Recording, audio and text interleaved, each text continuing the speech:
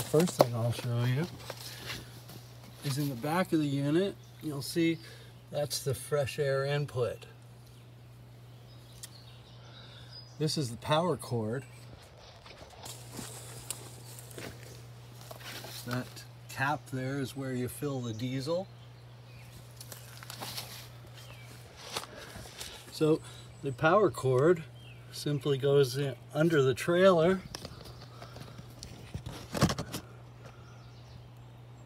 to a plug that I installed.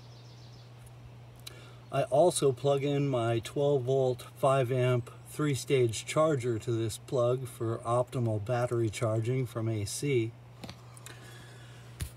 Now the heater output vent is this silver tube here and that simply exits the heater and goes through a four inch flange which I drilled a hole for in the bottom of the trailer inside the uh, dinette seating.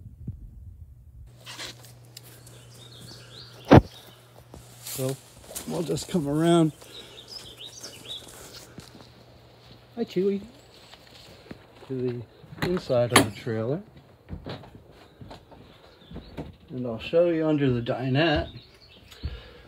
That's the 12 volt uh, power supply cigarette lighter plug, which I wired into the black and white wires, positive and negative.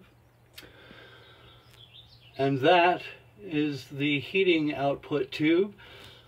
I made a uh, insulating collar for it to fit over the four inch hole. That just comes in and mounts to the heater vent that comes with the unit. And that looks really nice installed. It's just a small vent in the dinette seat with a directional vent, which is nice. And there you have it. The only thing I can't show you is I don't have it right now is the remote control, which is great. It allows you to change the temperature and turn the unit on and off from inside.